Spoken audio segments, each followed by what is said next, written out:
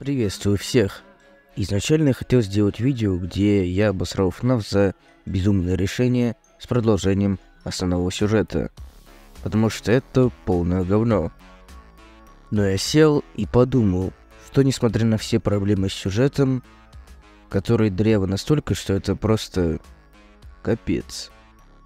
Именно поэтому в этом видео мы с вами вспомним о положительных моментах этой великой вселенной. FNAF останется в сердцах многих фанатов, которые были довольны прошлыми играми.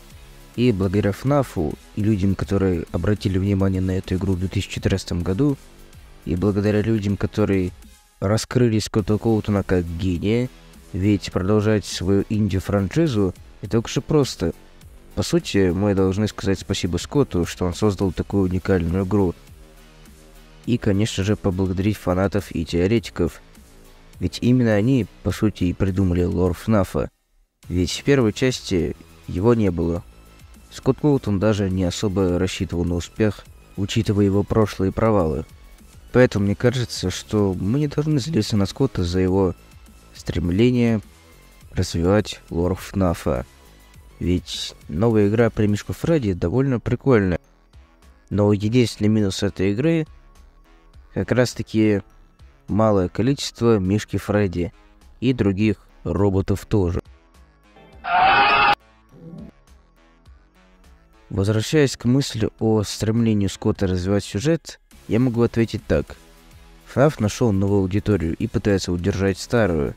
И это круто, что новые и это круто, что новая игра и, в принципе, новые игры развивают геймплей, персонажей и, конечно же, сюжет, который подается гораздо лучше, потому что раньше надо было понять вот эту пасхалку, а потом вот эту, а потом вот эту, а потом послушать трек за Древним Томстом.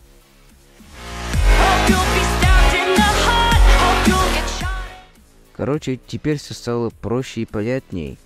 Но у меня на этом все. Так, это еще не все, бро. Ну и как говорится, спасибо за детство. Но у меня на этом все. Я рад, что FNAF не забыли, и он нашел новую аудиторию. И Скотт пытается развивать FNAF как-никак. Любой эксперимент лучше топтания на месте. Но я с вами еще не прощаюсь. Мы еще обязательно увидимся.